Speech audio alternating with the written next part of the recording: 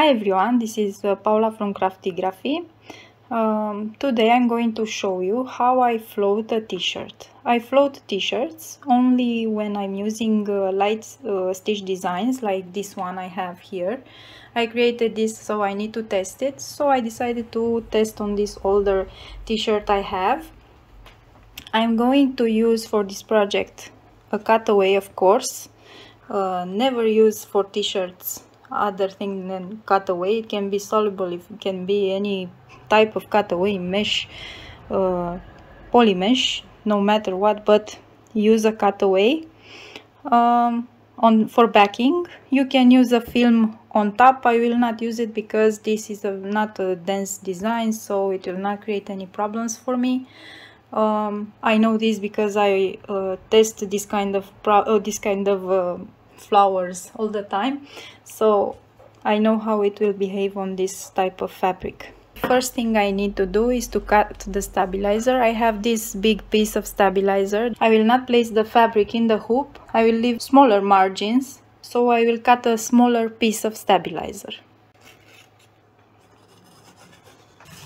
I will place the stabilizer in the hoop and after that I will measure the center because this is not actually the middle. It will be around somewhere around here the middle of the hoop. And it's important because my design is exactly 7 inches long. So I need to find the center the exact center in the hoop. I will need adhesive spray but this I will do it outside because it, the spray this type of spray that I have is toxic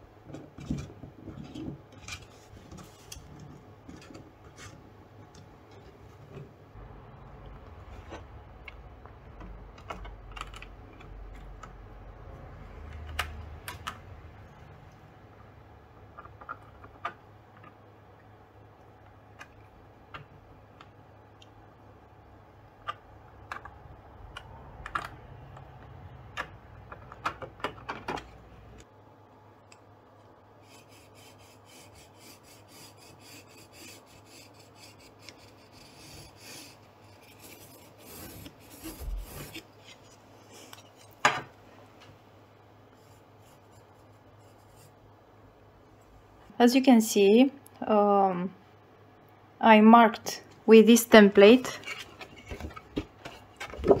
the middle of the hoop. You can see it's a little bit just a little bit some millimeters away from the these marks here.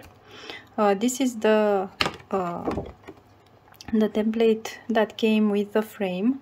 And I know that this is the when it's this in this position is the correct uh, placement because of the arm. This is where this metallic part shows me where the arm of the machine will be. So I know this is the correct uh, position for the template.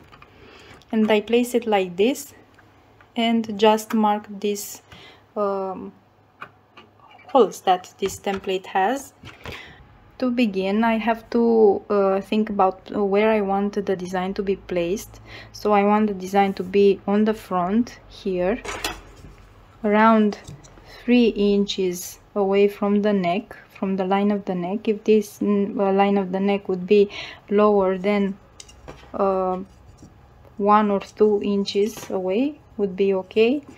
Important it is important that the design would start from around here the middle of the sleeve. This is how I guide myself uh, when uh, placing the design. So next what I have to do is to um, turn inside out the shirt facing the the part that I need to embroider the front part. And now I have to um, fold it in half like this. And align it as good as possible. This is a very important process. It is easier it's easier with um with a shirt that is new and ironed. This is not an easy shirt. Okay guys I just uh, aligned the t-shirt. This is a bad t-shirt actually. It's very asymmetrical. It is poorly constructed. It was a very cheap uh, t-shirt. So I guess this is why it's that bad. But uh, it's a good thing that it's uh, like this because uh, I guess uh, at some point maybe you will encounter this kind of problem so I actually give it a mark here. I placed it on my I placed it on my husband and checked to be sure that this is actually the middle. So yes this is the middle. I fold it like this. And now I can uh, start making the uh, marks. So I will leave 3 inches from here. It is on the middle of the sleeve as you can see almost the middle. So maybe I, I can give like 2.5 or 3 if I uh, start from here. I have this piece of chalk that I will use. Something like this yes. Okay I will use this template. I will place it here. You can see that it has a straight line. Now I will mark the middle. Just so I have a like this.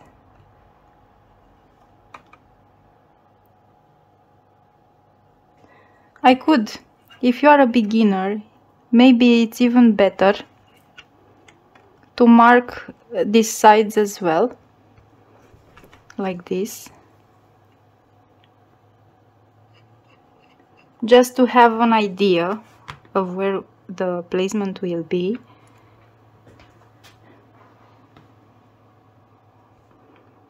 This will be the middle of the design and this will be the bottom part of it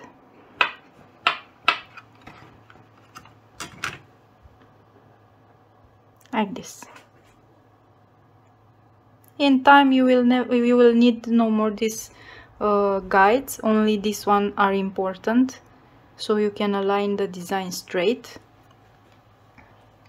So this is how I mark the design. I need to mark on the back because uh, and make the same uh, for the other side. I will use the same uh, template for that and uh, then like this I will come and place this over the hoop. Exactly like this I will show you later how I do that. I have sprayed the stabilizer. Uh, now what I have to do is to think about placement. Um, I need uh, to the interior of the machine to have the least uh, fabric amount of fabric so that the machine doesn't uh, struggle to embroider. Um, this is a t-shirt. It will work both sides but uh, to be correct I will place it like this uh, this with the arm up. I will um, arrange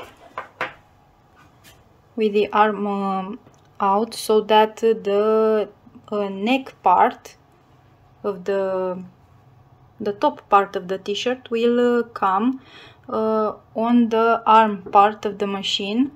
You will see why when I will do it because it, in the end uh, this part will have uh, more uh, fabric and this part in the interior of the machine will have less fabric. This is important especially if you are working with uh, very big um, fabrics like and heavy fabrics like I don't know um, terry cloth towels for example or hoodies or anything else. And uh, on the domestic machine that can be challenging. So I will place it like this. So I have this I have this uh, line that I uh, placed it. This is the center of the design. Now I will uh, I have these marks. You can see them. I will take these two marks and place where I have left I want this line. So as close as this line as possible.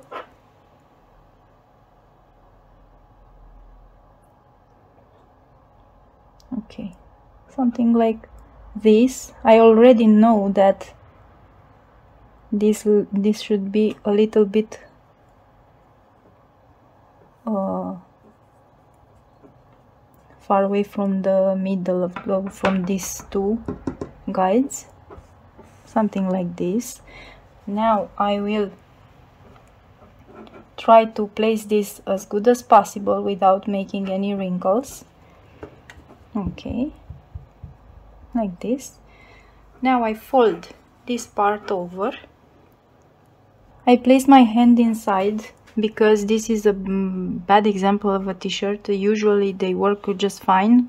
You can press them on the outside.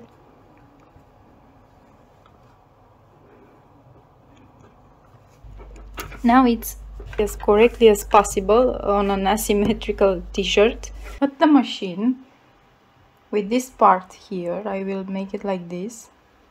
Okay and place it under the machine. Please be careful of the needle. As I was saying this is why it's important to uh, place the the fabric correctly. As you can see the most part of the fabric is on the outside on the machine's arm and the less uh, fabric part is on the inside. You can see here it doesn't have enough room. If this was a bulky like a terry cloth uh, fabric this would be very puffy and uh, it will not allow this uh, frame to move as it should be and uh, problems when uh, embroidering could appear. So keep that in mind. At the machine I will select the design like this. Now you can see that my flowers uh, are not uh, oriented correctly because my my uh, t-shirt has the neck part um, on the outside on the uh, left side and uh, the bottom part of the t-shirt is on the right side. The flowers are on the right side so it's not correctly. I need to rotate this design. I will uh, need to rotate 180 degrees but if I do this it will rotate automatically uh, because it can't uh, rotate 90 degrees because it doesn't have room to do that. So I press OK and now all is set. I can just start embro to embroider the design. Oh one more thing that I forgot about is to move the design. Um, like this it's actually not wrong but it is slightly because it's center the machine place it in the center it's actually a little bit lower because the design doesn't have exactly five inches. It's uh, smaller. It's uh, about uh, four inches um, tall. So um, it has if I uh, let me show you. If I check the this is a guide that allows me to see where the design starts and design ends. So you can see from the neck part it is not actually that bad but I can just move it where I want it like this. Okay let me show you again. This is where the um, this part is. This is one corner. This is the other corner now please be careful when you do this because I have some parts of the t-shirt uh, under the machine so I need to check that as well. Okay now it's good. It was uh, an armpit that was under the uh, arm of the machine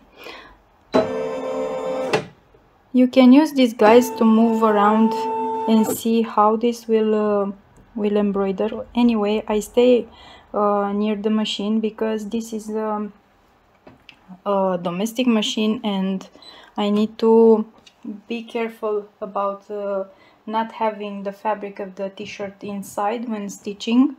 Uh, you could uh, use some clamps and uh, mm, place it like this place it like this. But because it's such a big design I will uh, be careful when stitching. It is a light stitch it will stitch fast so it doesn't bother me so much. Anyway this is um, the embroidery part now I have to uh, one more thing that, that I forgot to tell you about is the tension because my machine uses a different uh, bobbin thread that it should. It's uh, smaller uh, thinner actually. Then I have to adjust the tension. And that's it. Now it's ready to embroider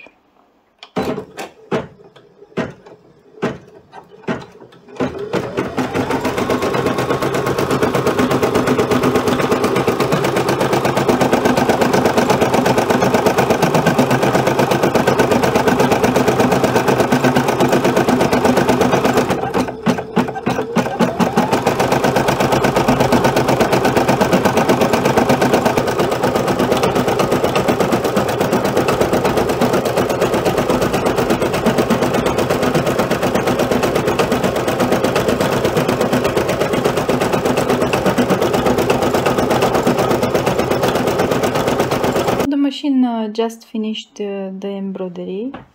Um, it looks great as it's supposed to. It has no puckering at all. It's everything. It's okay. So I'm very happy with the with how it's stitched. I just need to remove from the hoop and uh, cut the jumps and that's it.